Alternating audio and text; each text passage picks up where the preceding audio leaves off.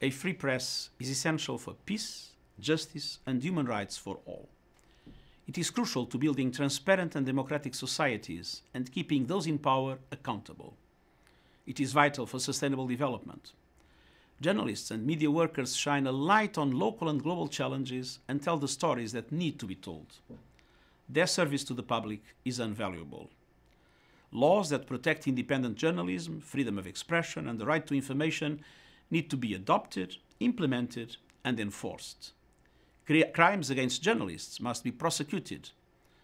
On World Press Freedom Day 2018, I call on governments to strengthen press freedom and to protect journalists. Promoting a free press is standing up for our right to truth. Thank you.